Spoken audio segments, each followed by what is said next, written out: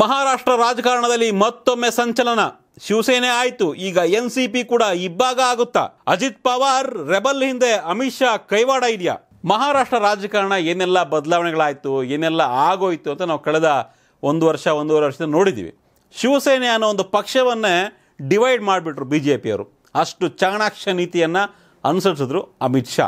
S ಬಾಳಾ ಠಾಕ್ರೆ ಅವರ ಪಕ್ಷ, ಶಿವಸೇನೆ. ಉದ್ಧವ್ ಠಾಕ್ರೆ, ಅದಕ್ಕೆ ಅವ್ರ ಮಗ ಉದ್ಧವ್ ಠಾಕ್ರೆ ಅದರ ಜವಾಬ್ದಾರಿಯನ್ನು ವಹಿಸ್ಕೊಂಡಿದ್ರು. ಹಿಂದೆಂದೂ ಕಂಡಿದ ರೀತಿಯಲ್ಲಿ ಉದ್ಧವ್ ಠಾಕ್ರೆ ಬಿ ಜೆ ಪಿಯನ್ನು ಬಿಟ್ಟು ಕಾಂಗ್ರೆಸ್ ಜೊತೆ, ಬದ್ಧ ವೈರಿ ಕಾಂಗ್ರೆಸ್ ಜೊತೆ ಹೊಂದಾಣಿಕೆ ಮಾಡಿಕೊಂಡು ಸಿ ಎಂ ಕೂಡ ಆದರು.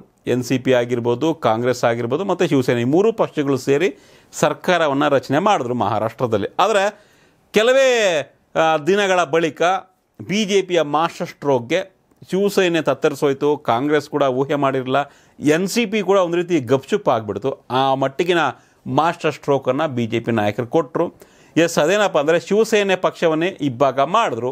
ಏಕನಾಥ್ ಶಿಂದೆಗೆ ಈಗ ಶಿವಸೇನೆಯ ಹೊಣೆಗಾರಿಕೆ. ಏಕನಾಥ್ ಶಿಂದೆ ಈಗ ಮಹಾರಾಷ್ಟ್ರದ ಸಿ ಎಂ, ಶಿವಸೇನೆ ಮತ್ತು B J P Eknath Shinde ಬಣ ಮತ್ತು ಉದ್ಧವ್ ಠಾಕ್ರೆ ಬಣ. ಉದ್ಧವ್ ಠಾಕ್ರೆಗೆ ಈಗ ಮೊದಲಿದಂತಹ ಶಿವಸೇನೆಯ ಚಿಹ್ನೆ ಕೂಡ ಇಲ್ಲ. ಸೊ ಅಷ್ಟರ ಮಟ್ಟಿಗೆ ಶಿವಸೇನೆ ಈಗ ಬಲಹೀನ ಆಗಿದೆ ಮಹಾರಾಷ್ಟ್ರದಲ್ಲಿ. ಅದಕ್ಕೆ ಕಾರಣ ಬಿ ಜೆ ಪಿ ಅನ್ನೋ ಒಂದು ವಾದ. ಬಿ ಜೆ ಪಿಗೆ ದೋಖ ಮಾಡಿದರು ಶಿವಸೇನೆಯವರು ಹಾಗಾಗಿ ನಾವು ಅದನ್ನ ಇಬ್ಬಾಗ ಮಾಡೋದ್ರಲ್ಲಿ ಯಾವುದೇ ರೀತಿಯ ತಪ್ಪು ಅಂತ ಅನಿಸ್ತಾ ಇಲ್ಲ ಅನಿಸಿರ್ಬೋದು. ಹೀಗಾಗಿ ಏಕನಾಥ್ ಶಿಂದೆ ಬಣವನ್ನು ಪ್ರತ್ಯೇಕವಾಗಿ ಇಟ್ಟು ಆಪರೇಷನ್ ಮಾಡಿ ಬಿ ಜೆ ಪಿ ಜೊತೆ ಕೈ ಜೋಡಿಸ್ತು. ಅಗಾಡಿ ಸರ್ಕಾರ ಅಂದರೆ ಮಹಾರಾಷ್ಟ್ರದಲ್ಲಿ ರಚನೆ ಆಗಿತ್ತು. ಕಾಂಗ್ರೆಸ್ ಎನ್ ಸಿ ಪಿ ಮತ್ತು ಶಿವಸೇನೆ, ಆ ಸರ್ಕಾರ ಧೂಳಿಪಟ ಆಯಿತು. ಬಿ ಜೆ ಪಿ ಶಿವಸೇನೆ ಸರ್ಕಾರ ಅಧಿಕಾರಕ್ಕೆ ಬಂತು. ಈಗ ಎನ್ ಸಿ ಪಿಯಲ್ಲೂ ಕೂಡ ಎನ್ ಸಿ ಪಿಯನ್ನು ಕೂಡ ಡಿವೈಡ್ ಮಾಡೋದಕ್ಕೆ ಇಬ್ಬಾಗ ಮಾಡೋದಕ್ಕೆ ಬಿ ಜೆ ಪಿ ಟ್ರೈ ಮಾಡ್ತಿದೆಯಾ ಅನ್ನೋ ಒಂದು ಚರ್ಚೆ ರಾಷ್ಟ್ರ ರಾಜಕಾರಣದಲ್ಲಿ ಆಗ್ತಾ ಇದೆ. ಇದಕ್ಕೆ ಕಾರಣ ಅಜಿತ್ ಪವಾರ್ ಅವರ ಅಸಮಾಧಾನ. ಇತ್ತೀಚೆಗಷ್ಟೇ ಮಹಾರಾಷ್ಟ್ರದಲ್ಲಿ ಎನ್ ಸಿ ಪಿ ಪಕ್ಷವನ್ನು ಕೆಲವೊಂದಿಷ್ಟು ಪುನರ್ರಚನೆ ಮಾಡಲಾಯಿತು. ಶರದ್ ಪರ್ ಅವರ ಮಗಳು ಸುಪ್ರಿಯಾ ಸುಳೆ ಅವರಿಗೆ ಕಾರ್ಯಾಧ್ಯಕ್ಷ ಸ್ಥಾನವನ್ನು ನೀಡಲಾಯಿತು. ಜೊತೆಗೆ ಪ್ರಫುಲ್ ಪಟೇಲ್ ಕೂಡ ಕಾರ್ಯಾಧ್ಯಕ್ಷ ಸ್ಥಾನವನ್ನು ಮಾಡಲಾಯಿತು. ಅಂದರೆ ಪಕ್ಷದ ಹೊಣೆಗಾರಿಕೆಯನ್ನು ನೀಡಲಾಯಿತು. ಆದರೆ ಮಹಾರಾಷ್ಟ್ರದಲ್ಲಿ ವಿಪಕ್ಷ ನಾಯಕ ಆಗಿರತಕ್ಕಂಥ ಅಜಿತ್ ಪವಾರ್ ಇದರಿಂದ ಅಸಮಾಧಾನಗೊಂಡರು. ನನಗೆ ವಿಪ- ವಿಪಕ್ಷ ನಾಯಕನ ಸ್ಥಾನ ಬೇಕಾಗಿಲ್ಲ. ನನಗೆ ಪಕ್ಷದಲ್ಲಿ ಯಾವುದಾದ್ರು ಬೇರೆ ನಿರ್ಣಾಯಕವಾದ ಹುದ್ದೆಯನ್ನು ಕೊಡಿ, ಪಕ್ಷಕ್ಕಾಗಿ ನಾನು ಕೆಲಸ ಮಾಡ್ತೇನೆ ಅನ್ನೋ ಒಂದು ಮಾತನ್ನು ಅಜಿತ್ ಪವಾರ್ ಹೇಳಿದರು. ಆದರೆ ಅಜಿತ್ ಪವಾರ್ಗೂ ಕೂಡ ಈ ಹಿಂದೆ ಬಿ ಜೆ ಪಿ ನಾಯಕರು ಗಾಳವನ್ನು ಹಾಕಿದ್ರು. ಸಿ ಎಂ ಮಾಡ್ತೀವಿ, ಡಿ ಸಿ ಎಂ ಮಾಡ್ತೀವಿ, ಬನ್ನಿ ಅಂತೆಲ್ಲ ಕರೆದು ಎನ್ ಸಿ ಪಿಯನ್ನು ಕೂಡ ಬಿ ಜೆ ಪಿ ಜೊತೆ ಮೈತ್ರಿ ಮಾಡ್ಕೊಳ್ಳೋಕ್ಕೆಲ್ಲ ಹೋಗ್ಬಿಟ್ಟಿದ್ರು ಹಿಂದೆ. ಅಷ್ಟು ದೊಡ್ಡ ಮಟ್ಟದಲ್ಲಿ ಏನೋ ರಾತ್ರೋರಾತ್ರಿ ರಾತ್ರಿ ಸಾಕಷ್ಟು ಐ ಡ್ರಾಮಾ ಆಯಿತು, ಬದಲಾವಣೆ ಆಯಿತು, ಕೊನೆಗೆ ಅಜಿತ್ ಪವಾರ್ ಎನ್ ಸಿ ಪಿಯಲ್ಲೇ ಉಳ್ಕೊಂಡ್ರು. ಸೊ ಈಗ ಎನ್ ಸಿ ಪಿ ಇಬ್ಬಾಗ ಮಾಡೋದಕ್ಕೆ ಬಿ ಜೆ ಪಿ ಅಜಿತ್ ಪವಾರನ್ನು ಬಳಸ್ಕೊಂಡು ಈ ರೀತಿಯ ಒಂದು ತಂತ್ರಗಾರಿಕೆಯನ್ನು ಮಾಡುತ್ತಾ ಲೋಕಸಭಾ ಚುನಾವಣೆ ಹತ್ರ ಬರ್ತಾ ಇದೆ. ಅದಾದಮೇಲೆ ಮಹಾರಾಷ್ಟ್ರ ವಿಧಾನಸಭಾ ಚುನಾವಣೆ ಕೂಡ ಬರುತ್ತೆ.